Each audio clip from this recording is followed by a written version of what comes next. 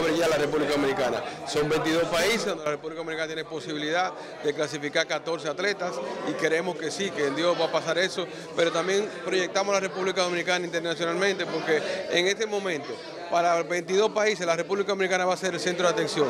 Vamos a proyectar la República Dominicana en el deporte y también en el turismo, invitando a las personas que conozcan la República Dominicana a través del deporte y así conoce todas sus diversidades que hay en la República Dominicana, montaña, playa, lo vamos a ver ahí. Muchísimas gracias.